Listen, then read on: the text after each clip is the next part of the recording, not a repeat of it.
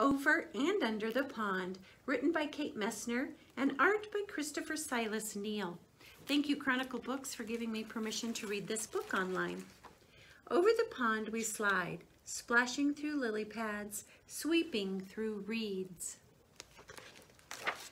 The water's a mirror, reflecting the sky, sunshine and clouds, then a shadow below. What's down there, I ask. Under the pond, Mom says. Under the pond is a whole hidden world of minnows and crayfish, turtles and bullfrogs. We're paddling over them now. Over the pond, we skim past tall rushes, whirligig beetles loop and twirl, skaters on a warm summer surface. Under the pond, minnows dart through waving forests of grass, while a brook trout lurks, ready to lunge. Over the pond, we lift and dip and pull past a row of painted turtles on a waterlogged tree. One, two, three, they slip off and away. Splash, gurgle, sploosh, under the pond. Over the pond, cattails rustle and shush in the wind. Listen close.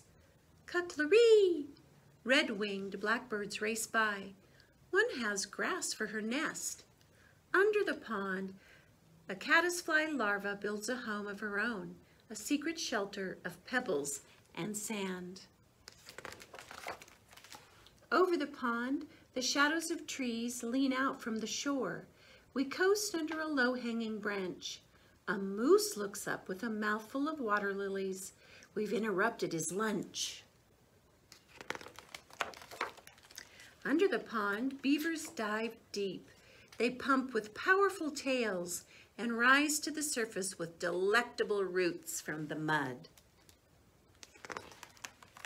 Over the pond, the wind gives us a push and stirs the light dappled leaves on shore. There on a branch, a new goldfinch teeters, finally ready to fly. Under the pond, tadpoles are changing, learning to hop.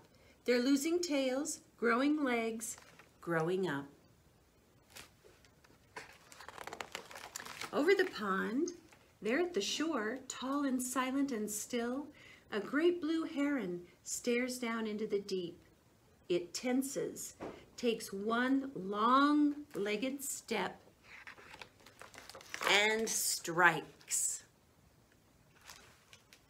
It catches a wiggling quicksilver minnow from where it was hiding under the pond. Over the pond we drift, heads tipped up to the sun. A woodpecker clings to a teetering pine, digging for ants.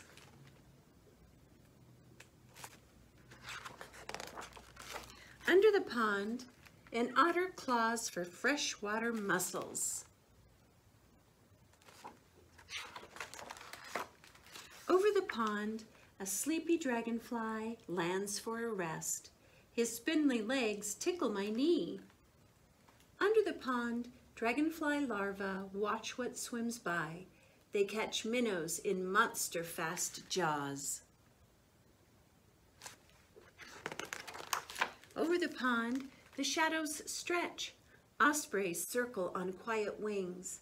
Raccoons and mink stalk the shoreline for supper. Under the pond, with a flip of a tail, a crayfish disappears in the dark.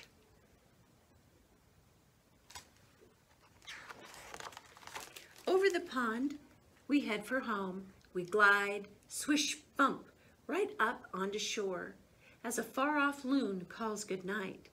The sky turns from sunset to dusk to dark. Night settles over the pond. The prowling catfish and drowsy turtles the scuttling crayfish and tadpoles turned frogs, wading herons, and stalking raccoons.